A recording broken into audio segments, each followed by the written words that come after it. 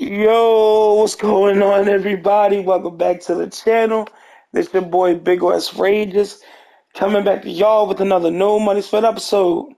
And this is probably going to be a short, simple one because I'm not feeling too well. You probably hear from my throat that I, I don't sound the best because I had a procedure done yesterday. Don't worry, I'm okay. It was just something that needed to be done. Um, so yeah, my whole body is in, in pain still. My throat hurt because I had to have a breathing tube while they confirm, uh, perform the procedure. So sorry if I don't sound the best, but excuse me, I'm gonna try to edit that part out. But um, yeah, uh, so I really just want to go over the packs, hit nine mil by quick selling some things. I finally hit 9 mil because actually I was at a lower number than that. I think it was at 8.9. But I started selling a lot of stuff in my collection. But this, I hit 9 mil a couple times above that. But I kept spending MT on these packs. When I say I probably would have been at 8 point, no, I'd probably been at like 9 million and like 200K plus or a little bit lower than that that's how much MT I spent. I think I open oh, really nah. I think it's less because I think I opened like ten packs or like ten to fifteen packs, so like 100, 150 k. So I would have been at nine mil, but I kept doing it because I'm like, okay, maybe I'll get Ben Wallace because Ben Wallace is going for 150, which is crazy. I actually might buy Ben in this episode just to buy him because at this point it is what it is. What more can I lose? I'm going to have nine mil by the end of this episode.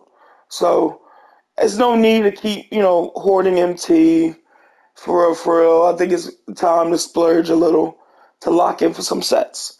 So yeah, let's go over these packs. So I guess uh, you still got the bracket buster stuff in here if you still want to go for Kareem. Me personally, I don't care. I pulled a Grant Hill. He undersold for 417,000 when I opened the new edition packs when it first came out Tuesday. But um, I really don't care about Kareem. People care about it. I don't. This uh Shaquille O'Neal is called the Phenom packs. I don't know why Lonzo is considered a Phenom. Don't get me wrong. I, I love Lonzo, you know, and it sucks that he probably won't return anytime soon because of injuries, and I feel like injuries going to derail his career. Even though he proved so much from the Lakers when he went to the Pelicans, he, Pelicans he became a lethal shooter almost.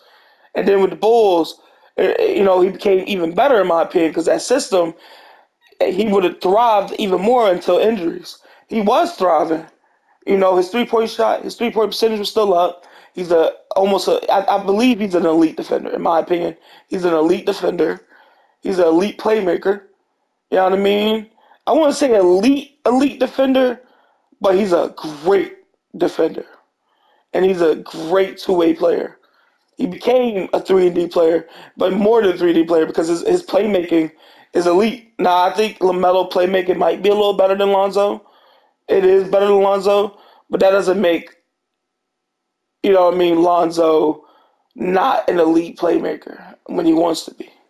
Not even if he wants to be. He he he really was. He he really was a. Even if you don't want to say he's an elite playmaker, an elite defender, he's a great playmaker and he's a great defender. So either way you look at it, Lonzo career was going up until injuries. Injuries is really derailed his career. So, but still, I wouldn't consider him a phenom. Maybe in college, the hype and everything you know what I mean? It's saying, you know, his dad was hyping him up as the next big Steph Curry and all that.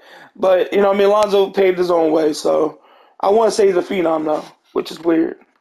I don't even know why they included him. Evan Mobley, see, I just think they just, like, these dudes are not phenoms. Evan Mobley is not a phenom. Now, Paolo Banchero, I think he might be rookie of the year. I'm not too sure. I'm not. I didn't really follow the rookies like that. If it wasn't the Lakers, I really didn't follow no other team. So I can't really tell you from there. Uh, Brandon Ingram, like I don't understand. They just throw phenom, maybe college phenoms. That's what I'm thinking because I don't even know who Jonathan Bender is, low key. But I heard he's the best pick diver in the game, and uh, he's 150k. So uh, Yeah, he's actually as rare to pull as the Dark Matters, so that's fun. Keegan Murray, uh, I mean, Austin Reaves. See, I think these are like college phenoms. Because if we talk about NBA phenoms, oh come on now, I don't even know. It felt like they just slapped. See, that's why I think. I think these was college phenoms. So if that's the case, then yeah, I get why they call them phenoms. I don't know about Darius Miles like that. I know Michael Carter Williams was a phenom in college. He was like, you know, he was rookie of the year, and then after that, he fell off. You know what I mean? He really, really fell off. So I guess from a standpoint of okay, if we look at college, except for Shaq, Shaq career and college, he's a phenom. Shaq is the truth because like when I look at Shaq, he like he he probably was a phenom in college. I think he was, but he was more of a phenom in NBA. But then when you look at Alonzo, I think his career wise, like in the college, was like more phenom like than actual NBA status because the hype around Lonzo. And then Evan I really don't know a lot about his college stats. Not gonna lie. And in the NBA, he's he's he's he's one of the better defenders, especially for the power forward slash center position. But phenom, no. You know, Paolo, if he's rookie of the year, but he's still not considered a phenom. You know what I mean? So it's just weird. Brandon Ingram, all star level player. You know, again, won't consider him a phenom. Like, you know what I mean? I don't I don't understand why I feel like they just slap names onto like they really just slap the names onto these promos and just call it a day without putting too much thought into it a lot of times. So, I mean, would I want Lonzo? Would I want Shaq? Yes, but their prices are 700K for a Shaq with a 63 ball, by the way. 63 ball. He is seven one, but we all know you have to put him at the power forward position because of Yao Ming. But then you can't even put him at the power forward position because you got a dude named Tacko Fall, and he's going for 500K. So, I mean, you have to spend a lot of money on this game or a lot of MT just to build, just to have a giant squad because that's the meta. You can play with Shaq all you want. But I am going, if I was the other team and I had Tacko and I had Yao, I'm just going to sit in the paint on Shaq because I'm a, I'm a dare you to shoot that with that horrible release he probably got. I don't think they changed his release at all, and he got a 63 ball, which makes no sense because this is a dark matter. But Tacko Fall Pink Diamond got a 73 three ball, which is weird. But I mean, you can run that little Shaq and Kobe duo for damn near 2 million MT though. And that's the only thing I hate about this game. Like some cards, like Kobe, the reason why Kobe, because we look at Giannis and look at Kobe. Giannis is more of a meta card than Kobe. Because there's so many good shooting guards out there. You don't need Kobe. And then if you got the RNG cards, the Billy Knight uh, RNG card, you really don't need Kobe. But Kobe, because he's Kobe, is going for damn near a million MT. This is a regular. I know this is a hollow Kobe, so maybe somebody pay a little tiny bit extra. But this is a basically this is a base level Kobe because he only got 30 halves. So, like you look at their prices, like look at Giannis is 310. Makes no sense. I think LeBron even like four maybe. So it's like some of these cards prices do not even make sense. And then Paolo, I feel like Paolo just got a card not too recently. I mean, he got good stats, but do he got clamps this time? Because I'm pretty sure if I go to season four, was he alternate reality? No, he might have been a season three card. He was a season three card, Pink Diamond. So let's look at his stats real quick. 83 ball. His stats is basically identical. But this one got better, a little way better stat. Not way better.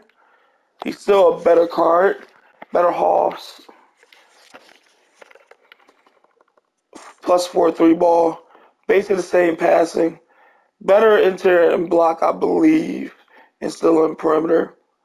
Plus three speed, plus one speed with ball, and plus three lateral quickness. That's why I remember. So he's not that much different from his pink diamond.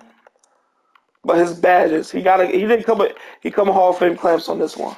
The other one didn't even have Hall, had clamps. I don't even think the other one did come with clamps. So this Paolo is way better. I hate his jump shot though. So if you get used to a jump shot, I feel like this is a good card for you. But his lack, I don't know, his 88 lateral quickness, I, and then like he's 6'10, so he's good at the 6'10, but like it's like his defense. He come off a clip. So what am I talking about? I don't get why he come off a clips with only with an 88 lateral, lateral quickness and an 88 perimeter. At least be like 92, but like 88 and then 88. Ah, that's kind of weird to me. Sorry, I'm laying down too, so that's why I feel a little, I sound a little different too. Um, yeah, I actually wanted to pick up this Brandon Ingram card. I was trying to wait till get a little cheaper. I don't. I did not like his jumper on this pink diamond from the trophy case. I actually hate that jumper. But if they make it very quick, maybe it changes a little. I don't know. I probably have to pick them up to see, or maybe look if somebody did like a like maybe DBG did like a gameplay video.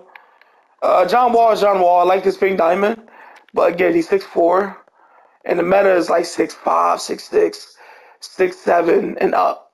Because now you got Jimmy Butler. Jimmy Butler can even match this card, I believe. Maybe. Uh, he do come with 99 speed, though. Will he feel like that? I don't know. Clamps, clamp breaker.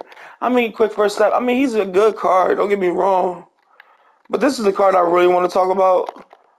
Not this card. Uh, let me go over Lonzo before I talk about the pink diamond. He's going for 471. God. He comes with. Okay. This one got a shoe? No. 94, 95 three ball, 95 driving dunk, 97 ball handle, 98 pass accuracy. This card is elite.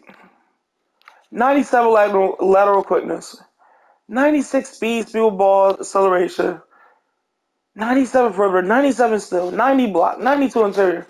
This card is elite. Now six six, I don't know. Can is he going to get mashed by Ben Simmons and Magic and probably all the tall point guards that's going to be coming out soon because we just got out of positions. Expect out of position two, out of position three, out of position four, and so forth. So I don't know. But I'll, I'll, probably wait to pay 500k for this card for the simple fact he's going to get cheaper. Because think about it, Lonzo Ball, you're going to have Lamelo soon at Dark Matter. I feel like I know they just released the Galaxy Opal Lamelo, whatever, or the Pink Diamond Lamelo. I forget which which tier was. Trust me, when they release Alonzo, I feel like a, a Lamelo is around the corner, not too in the future, not not too far in the distant future. So. I'll wait for Lonzo. But this is the card I really wanted to talk about. Jonathan Bender. 130K to 150K. He comes with 92 three ball. He's seven foot two that can play the small forward position. That's why I'm saying expand out of position too soon. This man plays is seven foot. He got a 92 three ball, a 90 ball handle, 95 driving dunk, 90 standing dunk, a 92 block, 84 star, 88 perimeter is a little low, but he's seven foot. You can put him at the power forward position and be okay with him. Uh, 90 interior, a 90 offensive rebound, 90 defensive rebound, 90, 91 speed, 90 speed with ball, 91 acceleration, and 90 lateral quickness. You could boost that all up to, and then with the coach, you could get better defensive stats, more perfect defensive stats, or offensive stat. You get a plus four three ball and then, what I was going to look at? His badges. I didn't really look at his badges. Okay, he'll, he get quick for step and clay breaker. He get anchor, pogo stick, and probably just regular clamps. Can you upgrade his clamps though? You probably you got upgrade his clamps. So if you have like multiple clamps, Hall of Fame clamps, or because if you got one, you probably want to bash out a player with it just to see if you can make more MT. But if you got multiple clamps, like I think some people do, low key. Give him a Hall of Fame clamps. This card is elite. Seven foot. Seven foot. And I'm gonna buy him and Ben Simmons in this video. Not Ben Simmons, Ben Wallace. But first, right? First, this is what I have to do. This is what I have to do. So, uh, also, let me go over some stuff. When the weekend is here, get a free pack. I gotta finish these up to get this new edition pack. Probably not gonna get nothing from it. Uh, really nothing else added. I mean, you look at the bracket buster stuff. You get a, I mean, pick. I think they said pick Williams in this and pick up Jeffries, maybe. I'm not too sure, but I mean, get six defensive rebounds in the game with a Wizard player four times, and get uh, win three clutch time offline or online games using five diamonds or higher players. So basically, your regular squad. As I think a lot of people by now have diamonds and up by now. So not too hard to get this for for some free players. Not too bad. Two peak diamonds, two free peak diamonds. That's not bad. So yeah, but this is what I have to do because I probably don't. I mean, I got another player to sell, sell, sell some more stuff. I want to hit nine mil in this video so I can say I hit nine mil. So what I'm gonna do is quick sell some players. So bye bye Kristaps.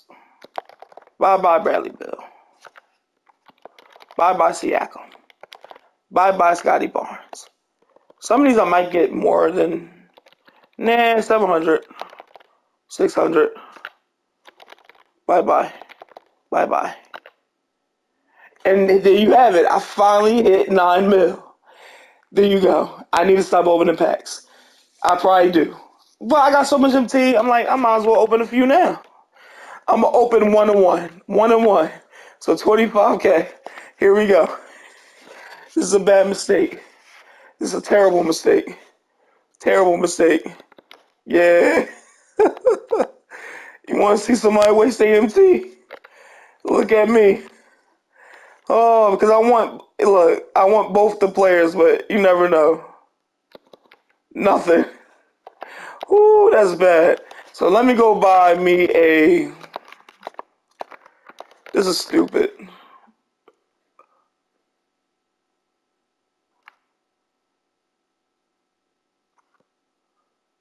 There's no way. He was just 150k. I guess I'm not buying me a Ben Wallace yet. You got me up. Uh, oh, no way. No way. And before, and on Thursday night, he was going for like 130K. That's nasty. That's nasty. I might as well buy me a, uh, how much is he going for? God damn. I'm gonna just put a bid on there and just end the video there. And if I get them, I get them. If I don't, I don't. It's just kind of crazy. 160. I ain't paying 160 for no goddamn pink diamond. But yeah, that, that's gonna do it for me, y'all. As you can see, they try and hold me on Ben Wallace. I should have been bought him. But uh, if you like these type of videos, leave me a like, comment, subscribe, the whole nine if you want to. If you want to. Uh, I got nothing open here. Yep, that's it for me, y'all. Have a good weekend, y'all. Peace.